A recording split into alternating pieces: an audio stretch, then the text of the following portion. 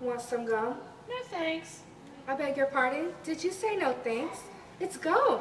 Yeah, I know. No thanks. Why don't you want some? I don't chew gum. What's wrong with gum? I don't like it. You're kidding. Why don't you like it? I don't like the taste. That's okay. Chew more gum and you'll get used to the taste. I don't want to get used to it. No thank you. I can't believe you. What? Jacob said you were like this, but I didn't believe him. The other kids are talking about this? Yep.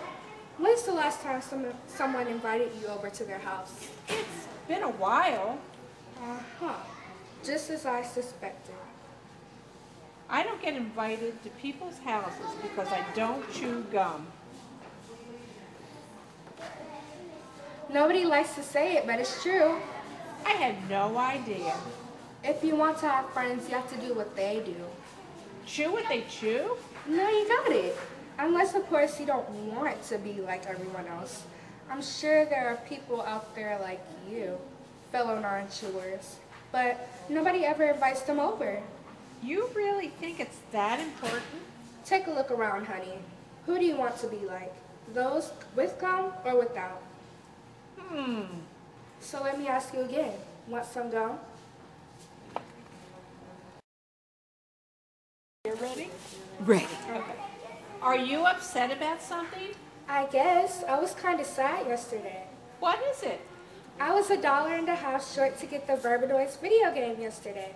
You were mad that it cost so much? No, it was... Okay, I tithe on Sunday. I gave $3 to the church, and because of that, I couldn't afford the game. Giving to the church is an important thing to do. Know, but sometimes I don't understand why. How is $3 going to make any difference? The church can't support a missionary, or build a new building, or pay the pastor's salary with $3. You can't even get a cup of coffee for 3 bucks. You drink coffee? I get it that adults should tithe, adults make tons of money, that can make a big difference. But why should kids do it?